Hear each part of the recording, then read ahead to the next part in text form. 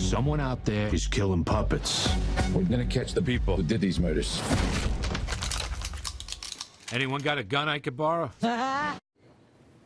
That was a clip from the new film, The Happy Time Murders. This is a dark comedy starring Melissa McCarthy. It hits theaters today. Joining me now in the Foxlight host, Michael Tammero. Great to see you. Hello, my Maria. I missed you, I Michael. missed you, I'm happy but you're back. Back. All right. So Happy Time Murders. We know how great Crazy Rich Asians have been Yes. has done. What do you think about this one, Happy Time Murders? Ah, uh, Melissa McCarthy, I love her. She's in like every movie these, lately. Yeah. She needs to start saying no to some of these things. Right after, right after clowns, puppets are high on my creep meter, along with puppeteers, are, along with puppeteers who make a living with their hand up. Some, something's took us. Okay, I just can't.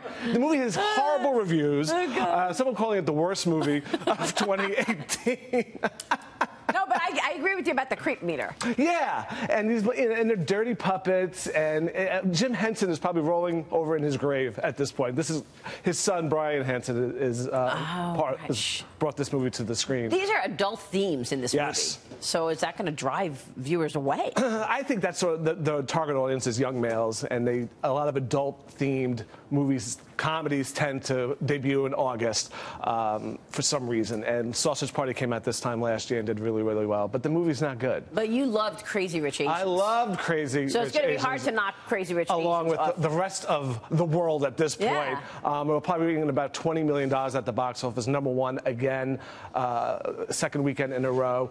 Uh, have dirty puppets on the brain. Happy Time Murders will probably come in at number two with around 10 to 12 million dollars. All right, so you're not expecting it to take sort of the shine No, away from not at Crazy all. Rich Asians? Not at all. Speaking of, yeah, what were you going to say? I was going to say crazy, and it, it, the, the book has been blown back to number one on Amazon, along with uh, the the, uh, the sequel, which they just announced yesterday, China Rich Girlfriend, is at number two on the Amazon chart. So it's it's really quite the phenomenon. So right uh, the after last week's huge opening, Warner Yeah. Brothers announced the sequel, and so do you expect that because they announced a sequel, that drives you know viewers uh, into the first one? Absolutely. Look, they, they Warner Brothers is they have a, a hot new franchise on their hands right now, so they're moving quick as they should. All right, we will check it out. Michael, great to see Good you. Good to see you. Thank you so much, Michael Tammero.